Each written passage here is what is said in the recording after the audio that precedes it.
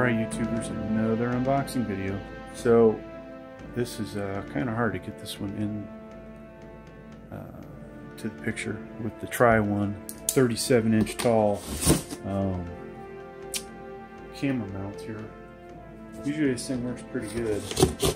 Uh, in this case, not working so great for it, but uh, it's better than me holding the camera unsteady, I guess. So this should be an HP uh, 290 Slimline P0043W. Um. Um, probably seen that I do a lot of videos where I'll take a desktop computer and I will um, upgrade them. And uh, in this case, uh, that's what we're going to do with this computer. So we're going to um, eventually upgrade the RAM. I'll show you how to do that. We'll hopefully be able to put some kind of video card in here. Um, we will change out the CPU and put an i5 uh, uh, 8400 in it. So I'll show you how to do that here. Uh, we will also, what else will we do? We'll put an SSD in here, M.2 NVMe. So I'll show you how to do that. Um, and we'll probably do we could do two versions.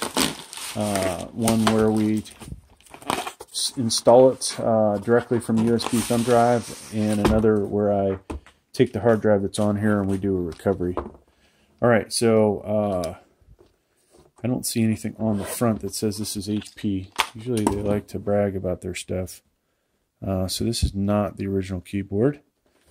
Uh, that said it feels decent. I'll have to plug it in at some point to verify that it works.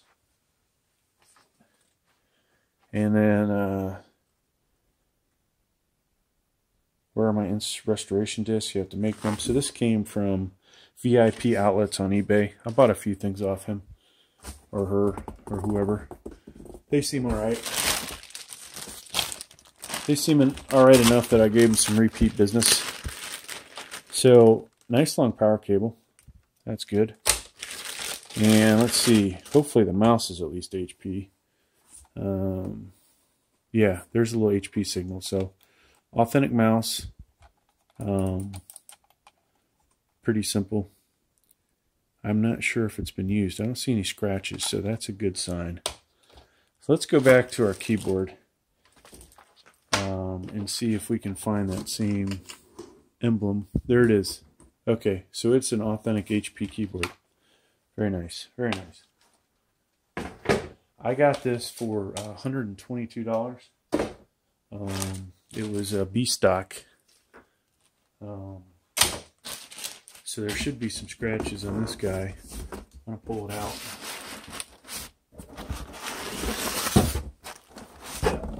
There we go. And of course I put it, grab it upside down.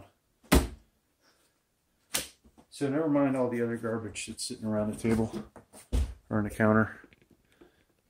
Hopefully I'll edit that out. All right, so there's the desktop. Um, this has the um, 8 Gen Intel Celeron G4900, which is uh, probably the equivalent of uh, I would say a 7 gen Pentium, uh, which would then be the equivalent of a 6 gen i3, which is probably the equivalent of a 4th gen uh, i5, which is probably the equivalent of, I'm just kidding, we could go on with that, right? Alright, so this looks pretty nice, folks. I think, uh, so I got some uh, eBay bucks back on this, so uh, even better deal. You can see some fingerprints and some tape. I really like the way the front of that is. That's a nice face. Uh, no USB 3.0 on the front. WTF, people. There's your Intel. They were so embarrassed they couldn't even put the uh, Celeron sticker on it. I'm sure HP has not sold these too well. Um, wow. Where are the 3.1? So not even a single 3.1. This is going to be dog transferring files over to it. Um, okay, so on the back, power six USB 2.0s, Ethernet, uh, VGA, and then HDMI, and then your um, microphone, headphone, and other audio connector there. All right, so next video we are going to take this thing apart and uh, dissect it. Thanks for checking out the video. Please like, please subscribe.